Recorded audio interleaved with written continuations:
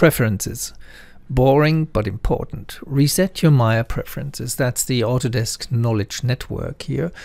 Resetting your Maya preferences can be a good first step in troubleshooting many issues that can occur, such as missing menus, failure to start, or slow performance when moving objects in vertex mode.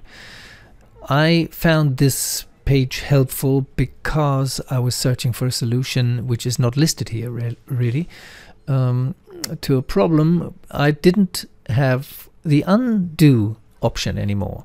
I pressed Control Z or Control Z or just Z, and uh, Maya told me I have deactivated the undo uh, procedure, and uh, it cannot be located anywhere in the menu. So in the preferences, uh, there's no undo uh, option anyway. So it just disappeared.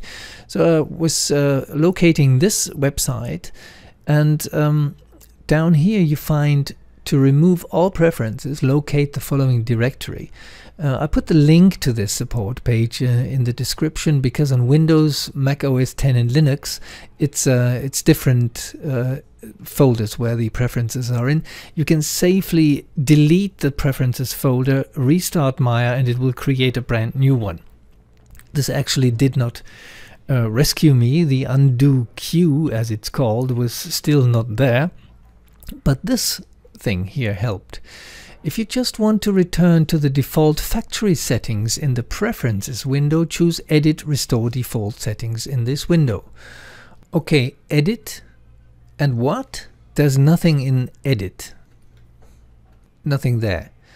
What they are talking about is this Windows Settings and Preferences and Preferences. So that's where you go into.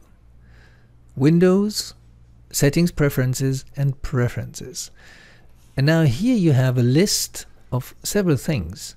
And here you go to edit and then you can restore everything to default settings.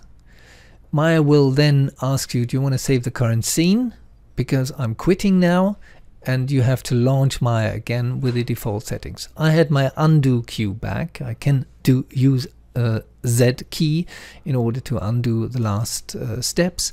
But uh, this is the way I did it. So here in the preferences you have a very nice way to get a clean new Maya factory presets uh, version. So um, that was all I wanted to say. I found it very helpful and uh, it's well hidden. Bye bye.